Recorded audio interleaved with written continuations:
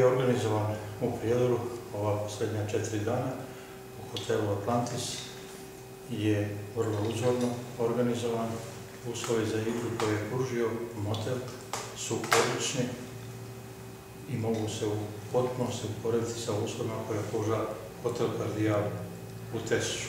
Dakle, sala velika prostrana, osvjetljena, e, komodna za igrače da mogu komodno da se osjećaju, dakle, ne samo da igraju šah, nego da mogu i da ustanu normalno i da prohodaju onako upravo kako je Međunarodna šahovska federacija je propisala, da turniri koji se rejtinguju kod, kod nje moraju ispunjavati određene uslove. Dakle, ova sala ispunjava potpunosti sve te uslove koji se traže.